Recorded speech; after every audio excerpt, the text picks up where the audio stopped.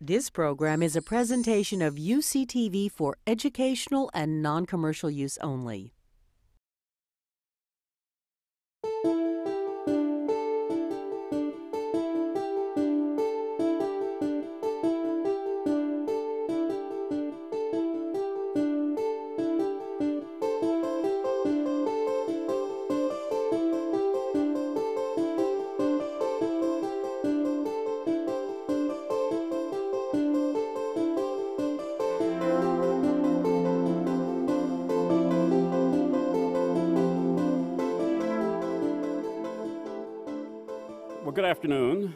I'm William Lester, professor of chemistry and chair of the Hitchcock Professorship Committee.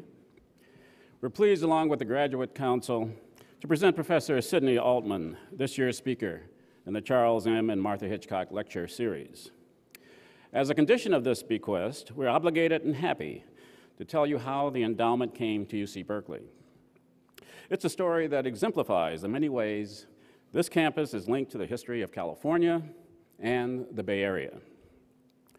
Dr. Charles Hitchcock, a physician for the Army, came to San Francisco during the gold rush, where he opened a thriving private practice. In 1885, Charles established a professorship here at Berkeley as an expression of his long held interest in education. His daughter, Lily Hitchcock Coit, still treasured in San Francisco for her colorful personality as well as her large generosity greatly expanded her father's original gift to establish a professorship at UC Berkeley, making it possible for us to present a series of lectures. The Hitchcock Fund has become one of the most cherished endowments of the University of California, recognizing the highest distinction of scholarly thought and achievement. Thank you, Lily and Charles, and now a few words about Professor Altman. Sidney Altman is internationally renowned for his important contributions to the fields of biochemistry and molecular biology. He and Thomas Cech shared the 1989 Nobel Prize in Chemistry for their independent studies demonstrating the catalytic ability of RNA. Altman discovered RNase P and the enzymatic properties of the RNA subunit of that enzyme. He found that RNA, which was previously believed to be simply a passive carrier of genetic codes between different parts of the cell, could also initiate and catalyze reactions. This discovery refuted the formerly unquestioned principle that molecules could either carry information, like RNA, or catalyze chemical reactions, like proteins. But they could not do both. I apologize for the music. Altman's breakthrough opened up many new fields of research and biotechnology, especially focused on RNA structure and function. Professor Altman has been a faculty member at Yale University since 1971, teaching both undergraduate and graduate courses. Also at Yale, he has served as the chair of the Department of Biology, 1983 to 85, and dean of Yale College, 1985 to 89, and is currently the Sterling Professor of molecular, cellular, and developmental biology. Since his Nobel Prize in 1989, he has been awarded honorary degrees from the University of Montreal, York University, Connecticut College, McGill University, the University of Colorado, the University of British Columbia, Dartmouth College, Lake Forest College, Concordia University, and the University of Toronto. In recognition of his illuminating research Altman has been named a fellow by the University of Colorado, the Damon Runyon Fund, the Anna Fuller Fund, the California Institute of Technology, and Dartmouth College. Altman currently serves on the Committee on Human Rights of the National Academy of Sciences. He has been on the Board of Trustees of the Dibner Institute for the History of Science and Technology.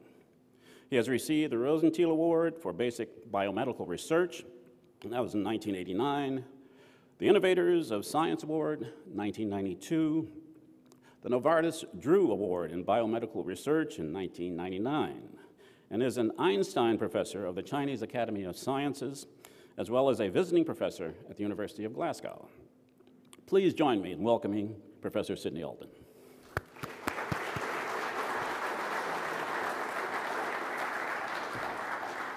Thank you, Professor Lester, for that very generous introduction. I'm, of course, happy to be here back in Berkeley, especially on such a beautiful day as this one. And I apologize for those of you who've taken a few days or a few hours out of the brilliant sunshine to come and listen to me in this darkened room. But maybe we can make it interesting in some way. Uh, I'm going to talk today about entering the RNA world. And before I talk today and tomorrow, I want to start off by doing something that people usually do at the end of their lectures uh, these days. It's not infrequent these days to see a final slide at somebody's lecture which has about six or seven different awards of money awarded to a different person and 30 or 40 people who participated in the research that's been talked about. I simply want to say that my work over the years has been supported by your taxes. Uh, the money comes from NIH and at one point from NSF, and it's very easy to calculate with round numbers that each of you have given a few pennies a year in terms of your income tax to my research. So I thank all of you for that, and I'm grateful for it. And that's why I mention it now, and I will mention it again tomorrow. Now, really, I should start this lecture with some discussion of um, the origin of life. And I'm not talking about human life, I'm talking about life per se. And one can ask some questions that may have, or you might construe as being of a philosophical bent and you may ask for philosophical answers. Uh, but if I'm asked or pressed hard in that regard, I will simply answer with a grunt or more articulately with a yes or a no, because I'm really not interested in the philosophy of what I'm going to talk about. So, one of the questions we can ask is why is there life? And after we consider that briefly.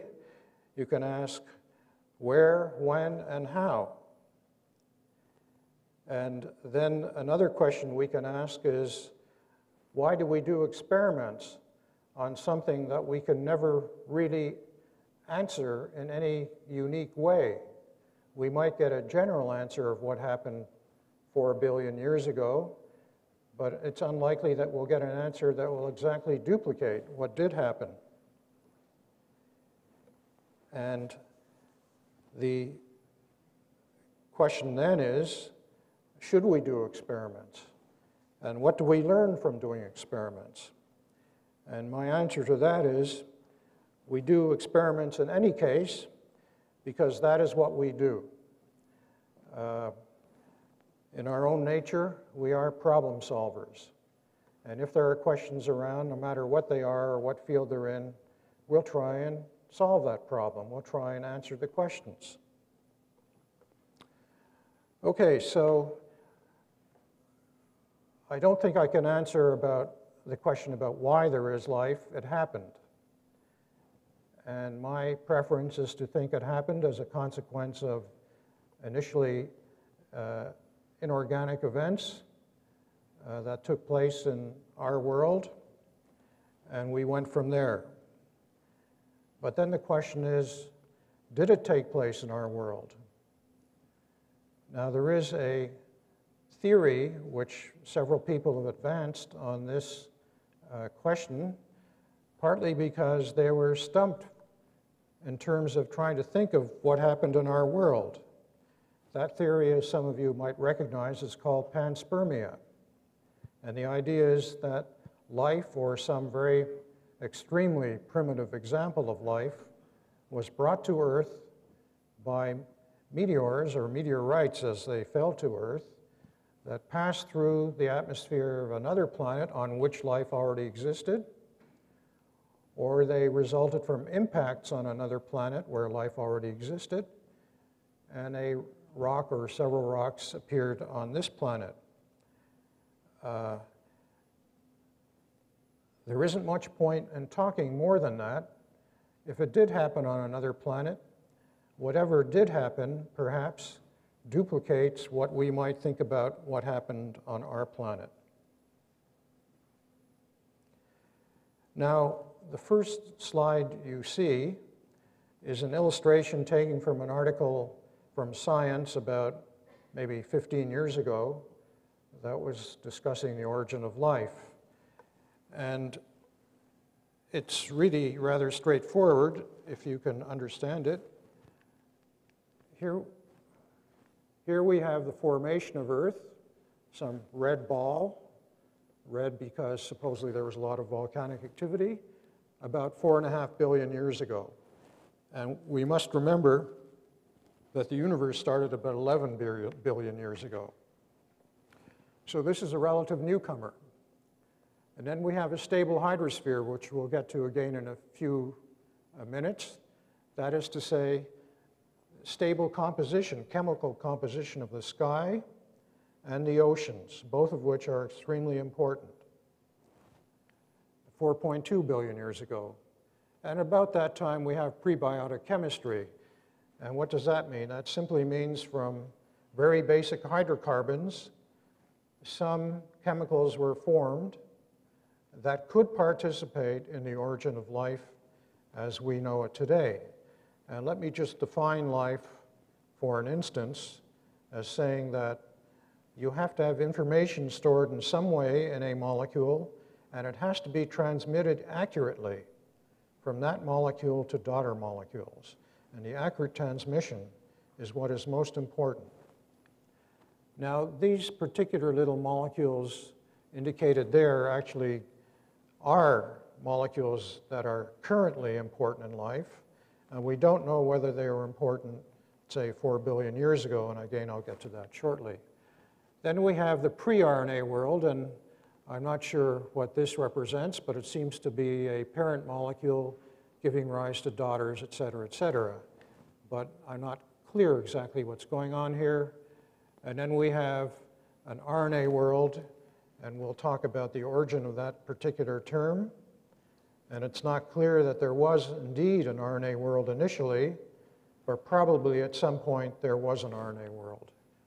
And then we have the first DNA protein life, and then diversification of life. And here we have a diagram which is typical of uh, people dealing with evolutionary diagrams indicating various branches occurring from a stem organism back here. Okay, so there are some very simple questions. Extremely simple, you will say, or maybe much too simple from what I'm going to tell you, that one has to ask about these particular times, let's say four billion years ago or so. And they are the nature of the ocean and water, that is to say, what is the chemical nature of the oceans? How much water was there? The nature of the sky, how much oxygen or methane or carbon dioxide was in the sky, the temperature of the sky and the oceans, electrical discharge in the sky, and the time it took for events we're going to talk about. Now, this is important because I think in 1951, Miller and Urey uh, published a paper in which they put some very simple hydrocarbons. A hydrocarbon is something made up of carbon, hydrogen, and oxygen into a flask, and they irradiated that with UV light, UV light being the equivalent of lightning.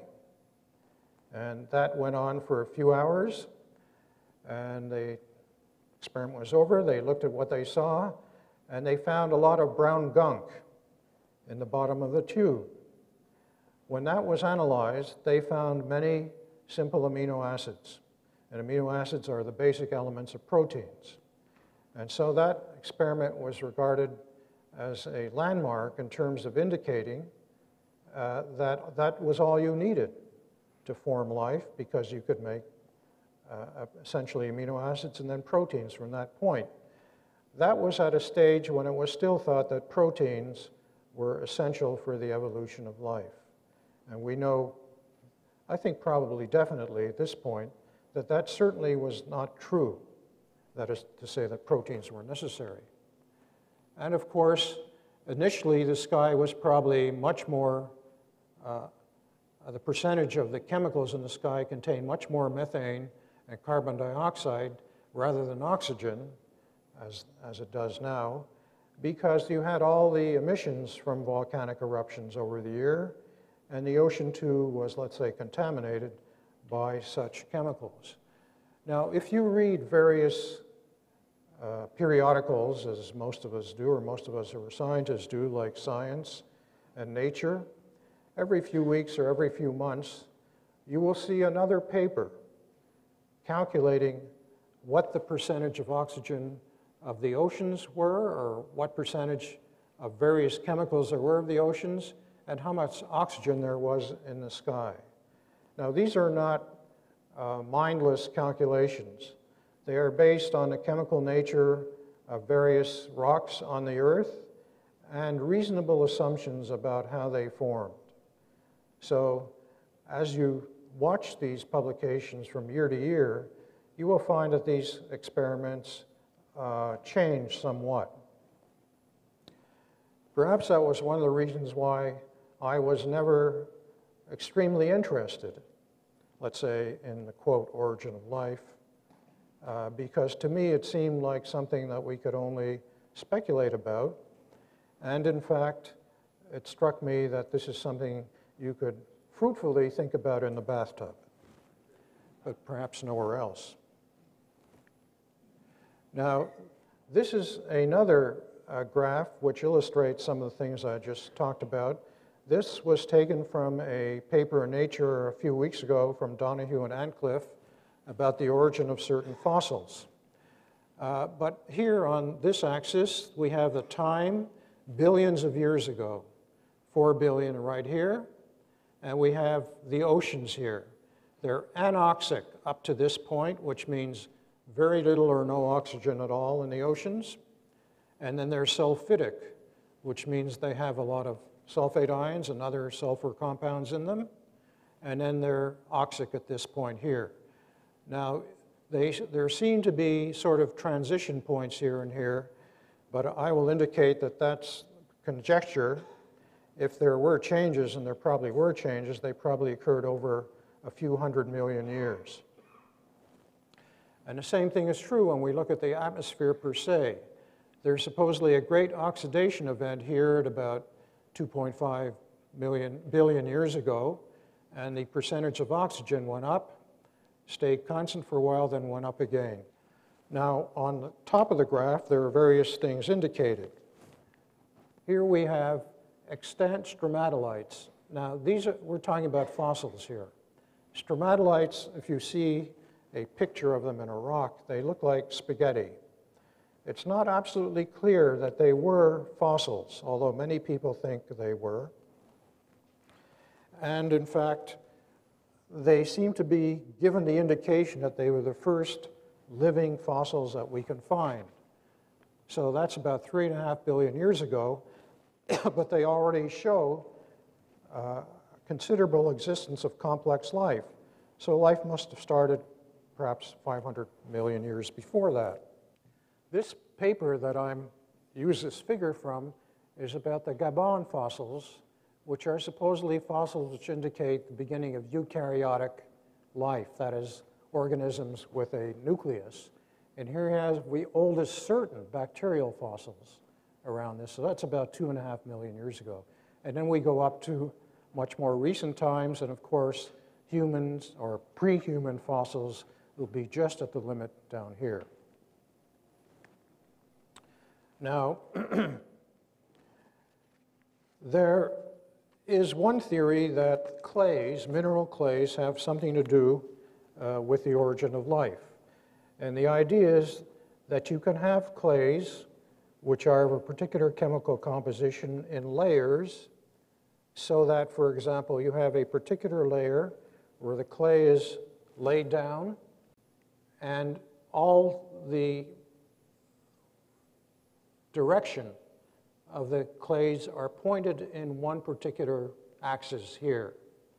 And this might be another kind of clay also laid down in this direction, and these are others here. And the idea was that this is uh, Graham Cairns-Smith is one of the principal authors here. The idea was on near the surface of these clays, it's quite probable that the chemical composition of the medium uh, was uniform and distinct from the rest of the surrounding medium, however you want to define that. And in fact, it is suggested that if there were some molecules that were viable in terms of their utility for life, they could be laid down on these strata in a particular uh, direction. And in fact, for example, if you have the uh, D and L amino acids, for example, as one idea where you have stereoisomers of the amino acids, on one of these layers you might only have the L acids, on the other the D acids. The same thing could be true with sugars. The, so this is a way of separating essential molecules that were essential for life. There's no evidence that this is real. Although a lot of people, especially some geologists, put some uh, weight to this kind of theory. Now, 1967, uh, Crick and Orgel and uh, wrote separate articles. Woese wrote a book, and J.D. Bernal, who was towards the end of his life, wrote something in England saying that it seemed possible that RNA could be involved at the beginning of life, uh, but it was unclear to say that. And Crick, Orgel, and Woese said specifically in their papers that no enzymatic activity or no any kind of activity can be associated with RNA other than its informational content. So it's unlikely that we have to consider RNA for this event at all. Uh, there was a, uh, an idea, and I think Bernal was one of the people who put it forward, that RNA mostly live as a single-stranded molecule. I'll get to that in a second.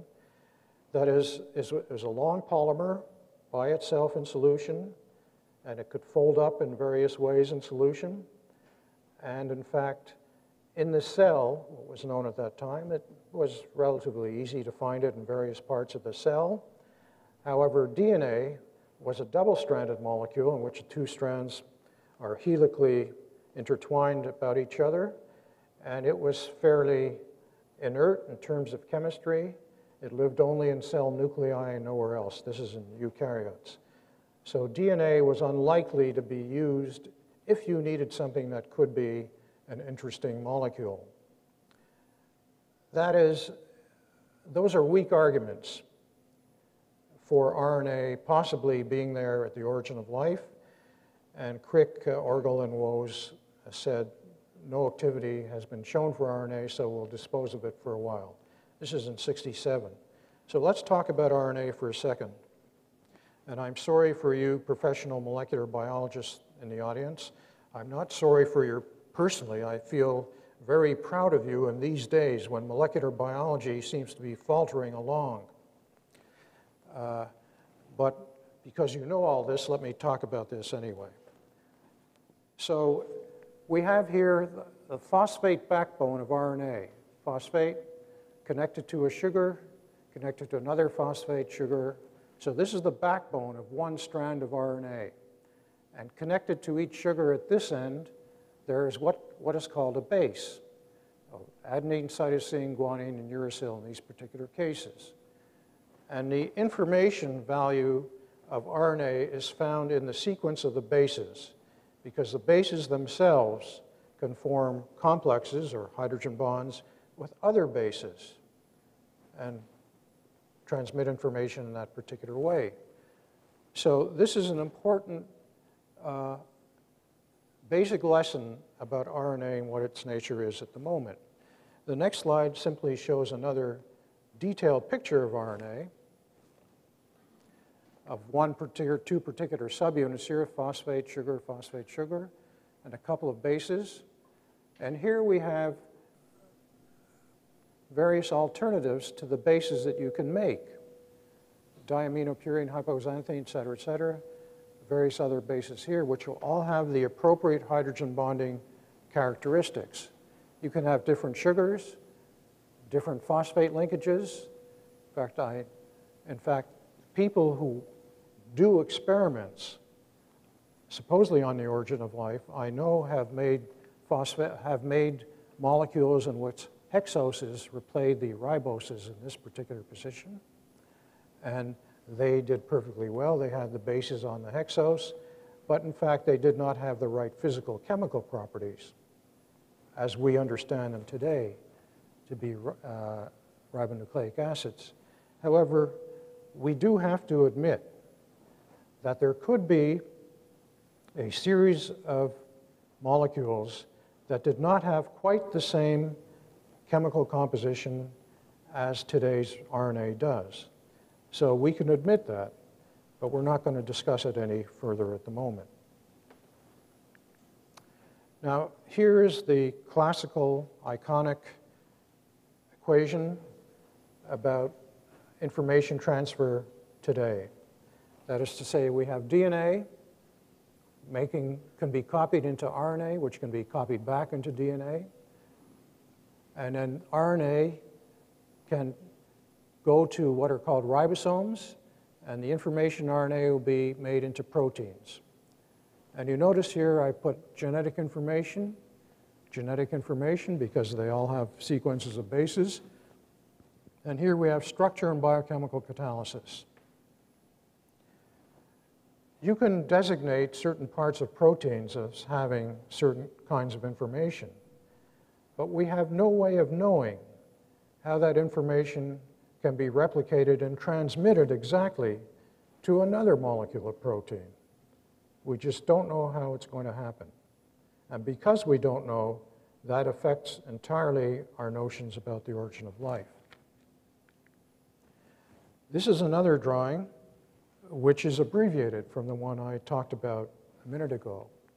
We have the same position here, but in this particular case, we're going to eliminate protein because in the original central dogma, which I indicated, all those transformations of DNA making RNA back to DNA, DNA replicating itself, RNA replicating itself, they're all carried out by proteins or protein enzymes. And we'll talk about enzymes in a few minutes.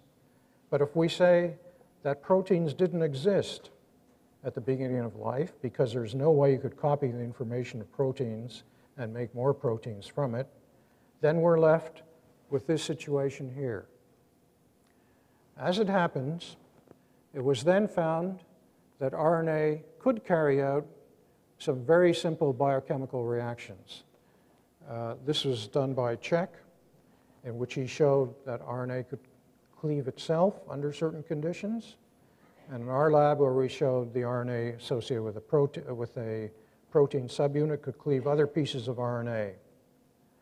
Now, as scientists always do, and in fact, this is a classic example of that, and the example really was given by Wally Gilbert in a short paper he wrote. Uh, it wasn't a paper, it was a comment he wrote for Nature, and he was a physicist, really, but he became a molecular biologist. You take one or two examples and you generalize that completely into a, a new theory encompassing very many problems and events in one particular smaller two or three small sentences. He said, now you have information in RNA with biochemical catalysis, okay, information RNA. And before Wally got onto the scene, we could say, this has a possible future. And then Wally said, with one or two events of the kind we're talking about, that means that RNA could have any kind of catalysis, and therefore it could carry out metabolism inside cells. So life is possible now with only RNA containing the information and biochemical catalysis. And then he said, we don't need DNA at all. Cross this out here. It's just not necessary. We have RNA. Presumably, it could make itself under some conditions. It can carry out metabolic reactions. This is all we know. and that was the beginning, and he called it the RNA world. So most of the thinking about these events now are directed to the RNA world, and really that's what we have to wonder about. Now, this is a very old slide that Hugh Robertson made many years ago, and it just illustrates what kinds of structures RNA can be involved in. First of all, when you have something that looks like this, which you can call a double-stranded piece of RNA, there actually these bases here are joined together by very weak bonds called hydrogen bonds. And the hydrogen bond was suggested by Linus Pauling back around 1940, and I thought it was much more important than the structure of proteins. Uh, so here's another place where you have another particular double-stranded region held together by hydrogen bonds, and here are particular bases, A, U, C, G, U, A, et cetera, where we know what the hydrogen bonds are. They're stuck together here. Here's another one here. The point is that we have many sequences in RNA where you have these supposed hairpins here. And in fact, if you look at any stretch of RNA, you will find hairpins. There's no question about it that the bases occur sufficiently frequently so that you will find regions like this in RNA. In fact, this is another diagram taken from something that was written about 10 years ago or so. If you have a region of RNA with a number of hairpins in it, and then you have something like the RNA subunit of RNase P, which could many years ago be called something else. We call it M1 for various reasons. We know how this cleaves RNA. It actually cuts at the region between the beginning of the double strand here and a single strand. So this is left by itself. Here's another cut here. You're left with this hairpin by itself. Here's another cut here. So you're left with a bunch of different hairpins with sizes down here of different lengths. And then you could well imagine that you might, for example, attach a three nucleotide sequence here, CCA, and that, in fact, can happen inorganically. We know that happens. And ultimately, from this, you might wind up with something that looks like a piece of transfer RNA. Transfer RNA is very important today. It's involved in protein synthesis. So this is a speculative but simple idea of how very simple chemical reactions can occur in RNA a very long time ago. Now, there was some notion after Gilbert suggested the RNA world that we really ought to look for other enzymatic reactions carried out by RNA. We do know of some other reactions at the moment, but there aren't very many of them. Uh, and they fall into a very specific class. There are no more than five or so. Uh, Larry Gold, who was at the University of Colorado, uh, devised a technique, and it's illustrated here, but I, am not going to go through it all in detail. In fact, I would suggest for those of you who don't understand anything I say, uh, just forget it. Just uh, think about the more important, well, what, what I think are the more important things. Uh, Larry said the following If you make a randomized piece of RNA, by randomized I mean the following that is to say, you can chemically make a piece of RNA now. Uh, and you can, I, you can put in a specific base at every position. But Larry said, we'll put in all four bases at every position so that you could make one sequence, you put in four bases at one position. It means you now have four different sequences, et cetera.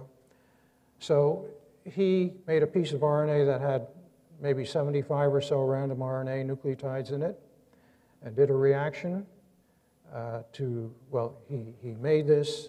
It was in a test tube. He maybe had a mill, uh, one milliliter of the reaction, which might have had a trillion, trillion different sequences in it.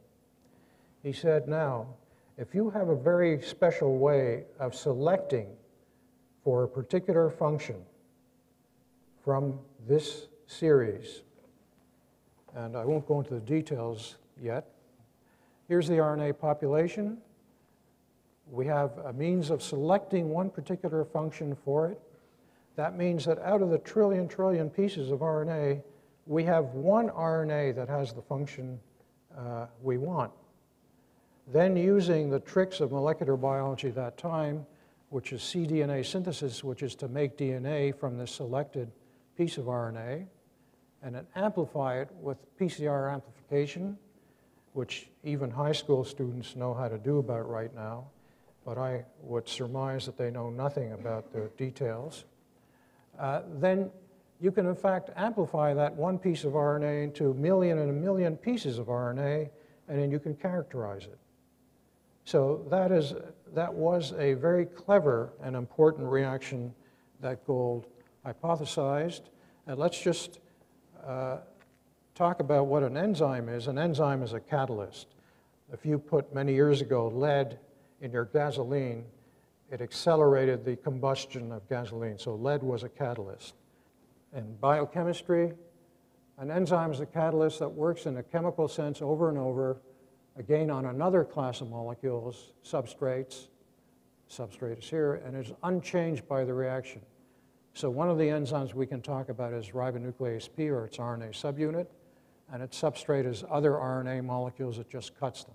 So that's an enzyme, that's a substrate.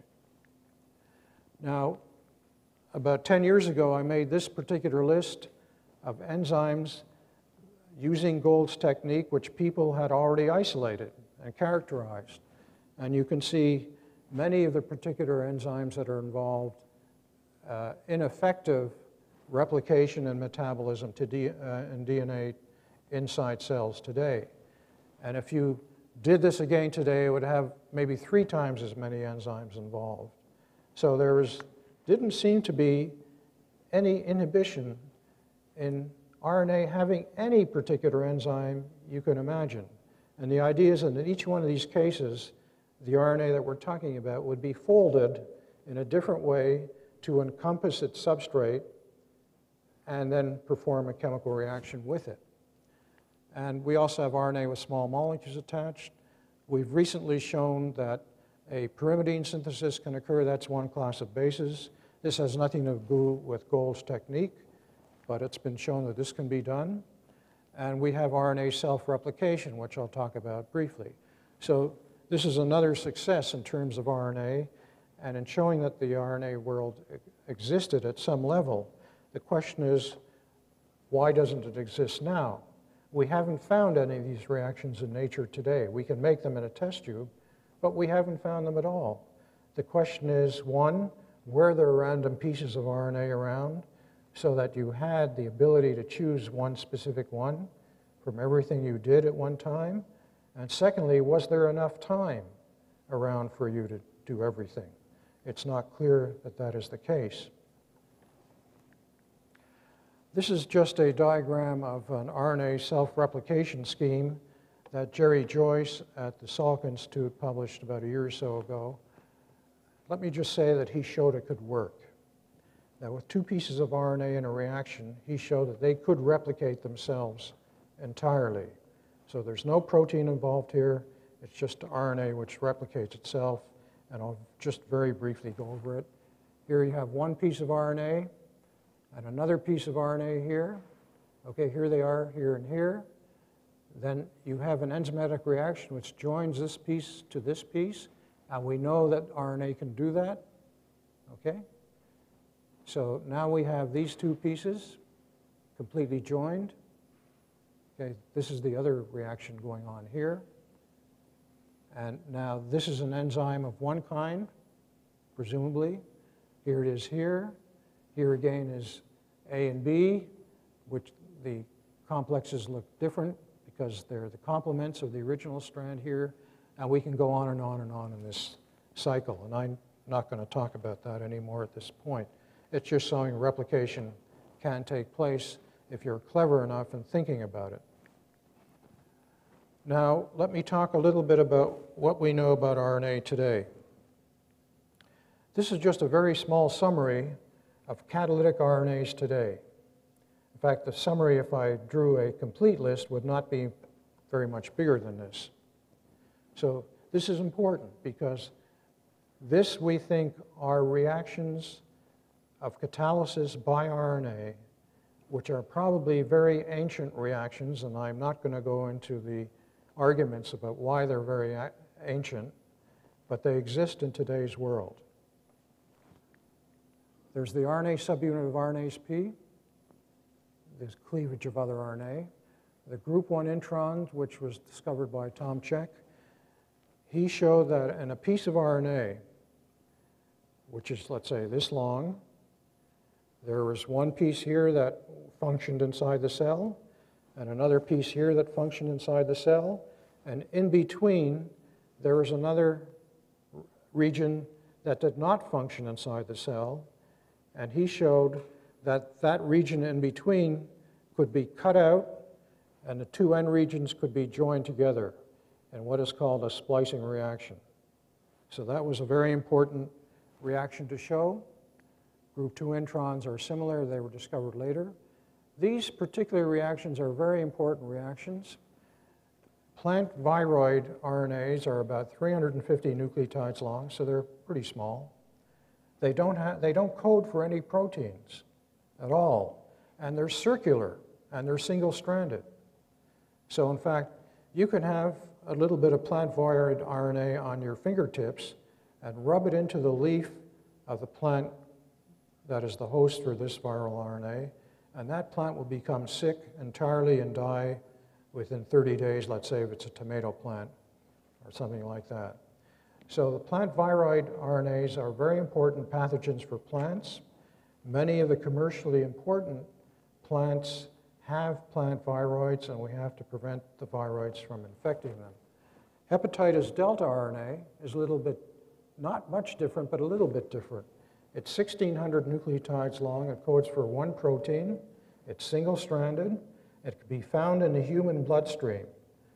But if you have hepatitis B virus in your bloodstream, and you also have the hepatitis delta RNA, you're dead within three weeks. So the hepatitis uh, delta RNA makes hepatitis B a serious and lethal uh, disease. Normally, not normally, but yeah, normally, you can live for several years with a hepatitis B infection. You might get sick one way or the other, and in some people it develops into a cancer, but it is nothing that will destroy you in three weeks. And in certain parts of the world, normally Southeast Asia, the blood banks constantly screen their supplies for hepatitis delta RNA. That's just an, an aside. There's a fungal virus that has an RNA that cleaves itself. And recently, we have evidence that RNA in ribosomes at the peptide elongation site also is an RNA enzyme. That is to say, the RNAs by themselves will join one amino acid to another. Now, this is extrapolating a little bit from what we know about the crystals of ribosomes, which have been just described in the last seven or eight years or so. It appears if you draw a sphere around the point where two amino acids get joined together, there is no protein in that sphere but simply RNA. And that's the reason for saying that uh, the ribosomal RNA is a, is a uh, RNA enzyme. There are some people, in fact, some rather prominent ribosomologists who disagree with that statement, but that's okay. We'll accept that for the moment. And splicing RNAs, there are various complexes inside cells which aid in splicing pieces of RNA can perform an artificial splicing reaction by themselves in vitro. But it's not important that one remember this. One simply has to remember that there are several different reactions where we know this happens. Now I'm going to talk very, very briefly about RNase P and a couple of other reactions. What I've shown here is a tRNA. This structure here in two dimensions is a transfer RNA. The dots indicate hydrogen bonds joining these pieces together. And this sequence up here is actually made from DNA when you're making this piece of RNA, but we don't need it inside the cell. And the enzyme I'm talking about, the RNA subunit of RNase P, cuts it right here. And it cuts all tRNA precursors in all organisms at this particular point. So that's one thing we know about. This is the Cech reaction which I resolved, uh, which I discussed. Here are the two pieces which are important. And this piece in the intermediate here gets spliced out. There are two parts of the reaction. There's a G that's at the 5' side here, one side of it, and that gets cut out. And then there's a, a hydroxyl group here, and that moves over here, and then we cut that out, and we're left with this particular reaction here which are the two pieces joined together, and we're left with this piece here, which is called an intron, as a separate molecule here. So this is a reaction, and we don't have to worry about this circle here. Actually, it's just a linear piece here. This, is, this reaction is a self-splicing reaction, which from the definition of enzymes means it's not a real enzyme. but this product of the reaction here can, with various uh, minor modifications, be turned into an enzyme, but it doesn't work that way normally in nature. This is another view of the central dogma as I do it before, as I drew it before, but this is today's view. And this appeared in another uh, paper recently, and it simply indicates to you that the world is much more complicated than we had thought. Uh, here's DNA or chromatin being made into RNA, and we have, could have messenger RNA here being made into proteins, but there are telomeres involved in making sure the DNA is the right size in chromosomes. There's primer RNA involved in the replication of DNA. This RNA can be transcribed, various pieces of RNA can be transcribed into RNase P, small nuclear RNA, et cetera, these here, and oRNAs also. These work on tRNAs, tmRNA, which we can talk, ribosomal RNA, 7SL RNA. These are all substrates for these reactions. And these particular reactions here, pieces of RNA, microRNA, siRNA, other NC or non-coding RNAs, are involved in regulating hundreds of developmental reactions. What I want to show here is simply that these new RNAs here, which have been discovered over the last 10 to 15 years, are where the action is today in molecular biology. Uh, you might consider that statement a bit of propaganda, but in fact, I think it's true.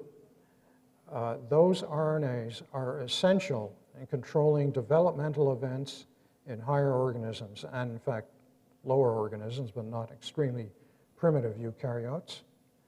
And the future of biology for the next 10 years or so depends upon our understanding of those particular reactions. I'm not, these are just lists of what we have to do, and I don't think it's important to talk about those. One of the things that is the hallmark of evolution as life went on is that whatever systems we're talking about became more complex. I'm not talking just about bacteria becoming man ultimately, that's certainly complexity, but this is complexity at a molecular level. So we have new genes and new mutations to aid in providing basic information. This is very important in terms of what we've learned about molecular biology or about genetics in the last five years or so. At the molecular level, we utilized everything in the genome. There's no more junk DNA. All parts of DNA are utilized in one way or another in terms, as we understand it now, to make non-coding RNA or microRNA that control developmental events. We're just beginning to understand non-coding RNAs, which are RNAs of several thousand nucleotides long and we don't really know what they do. We do know what one of them does, certainly. That's the Xist RNA, which is important in inactivating an X chromosome in human females. Human females have two X's, and one of them is inactivated in all cells. And the Xist RNA, which is few thousand nucleotides long, is critical for that particular function. And I won't talk about that uh, anymore at the moment. It's getting late, and I wanted to end this lecture with a statement about some of the people who have um,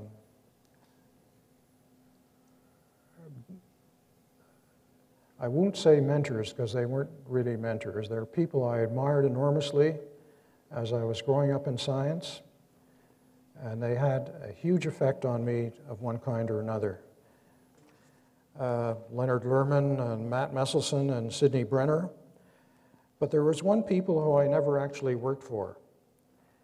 He was one of the people at the lab where I was for two years in England, and he ultimately went on to win two Nobel, two Nobel Prizes. His name was Fred Sanger. And I'm going to end this lecture by reading very briefly something about Fred Sanger that I wrote a few years ago. I was doing an experiment in which I was using radioactivity, radioactive phosphorus in much higher quantities than we use them now. And I had spilled something on my desk, and it was a sufficiently large accident that I felt I had to tell the people responsible. And the person I wound up with was Fred Sanger from his lab upstairs from mine. And so this is what I'm going to read. Fred listened to me and came downstairs to the second floor. Without a word, he put on some rubber dishwashing gloves, grabbed a can of Ajax and some sponges, and knelt down to try to see how much radioactivity could get off the floor. Not much. I objected to what he was doing because I thought I should be doing that job. And quite soon he said that I had done enough and decided to clear the area. I stripped my clothing off, donned a lab coat, and drove home where I left the clothes in the coal shed to cool off. Hugh Robertson called the contaminated space Yucca Flats, which I thought was pretty good. And sometime later, that whole floor and bench area were removed. I cannot imagine a person of Fred's reputation taking on such a modest and thankless task and refusing any help the image of him on his knees on the floor, trying to wash away the radioactivity I had spilled, is still fresh in my mind. There are many ways, I suppose, of exhibiting humility and greatness, and this was one of them. Thank you.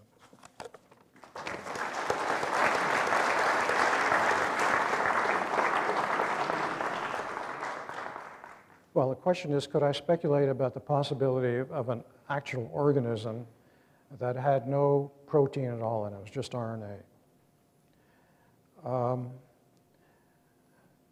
I doubt whether that existed at any particular time, but uh, anything I say now can be used against me in court at any time. Um, one of the kinds of experiments where some people are doing at the moment is to make lipid spheres, in which case you then try and have RNA enclosed by the lipid, or you have RNA going through a hole in the lipid. The idea is that lipids, or fatty molecules, make up most of our cell membranes and walls, so that is important. Now, we are learning something about making the lipids, but it strikes me as being very remotely possible that there might be RNA with a metabolism at the moment. You have to have all those RNAs I mentioned before carrying out metabolic reactions. I doubt that that's possible.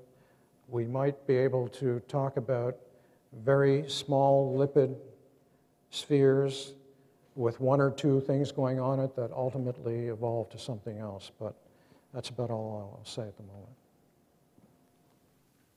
Uh, so considering our estimates of the age and size of the universe, and considering your own personal guess at the unlikelihood of unique origins of life, uh, would you say that our universe is old enough and big enough to allow for two unique origins of life? And although I'll accept a grunt, I would prefer something more concrete. Uh, you say that there could be two different origins? Yeah, sure, no problem. There, there are reasonable estimates now that there are possibly hundreds of planet, Earth-like planets in the universe which we're just waiting to discover. And the idea that one of them might have conditions like those on Earth is quite possible. So without any hesitation, I'll say that it's quite possible there's another source of life somewhere in the universe. It may not be life as we recognize it, but that's okay. So I'm one of those geochemists that actually tries to disentangle what the early Earth was like. Uh, and a lot of my friends are geobiologists who study things like hopanoids and other molecules that may be biomarkers of early, I'd say, uh, unicellular life.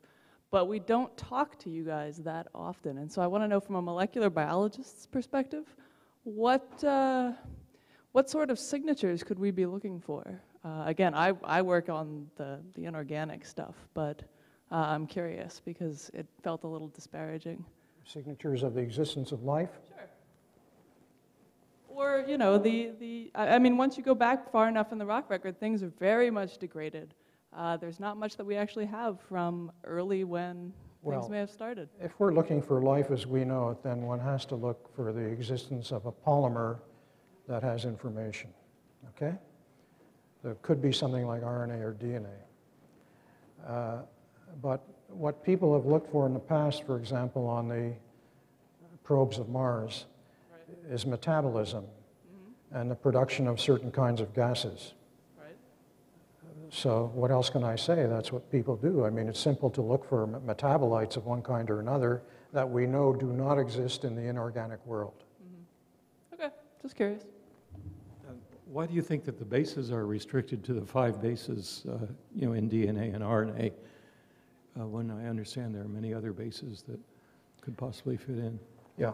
Well, people actually have synthesized other bases uh, which have the ability to hydrogen bond, and they can, they can use these other bases, which are not like the ones, the five that we talked about, the four that I talked about, and they work in terms of uh, reactions in the test tube.